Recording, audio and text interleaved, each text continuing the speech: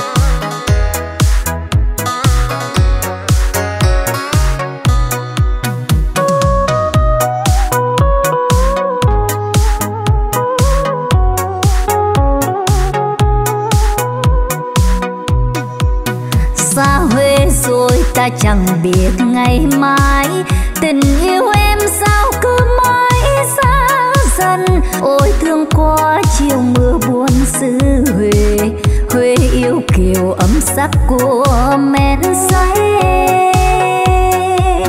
Và hôm nay ta ôm huế trong lòng, như sông hương ôm trong vòng núi ngự. Đến bây giờ và tới tận ngàn sau, chiều kinh lâu vang vọng tiếng kinh cầu. Nghe phảng phất của nỗi lòng giờ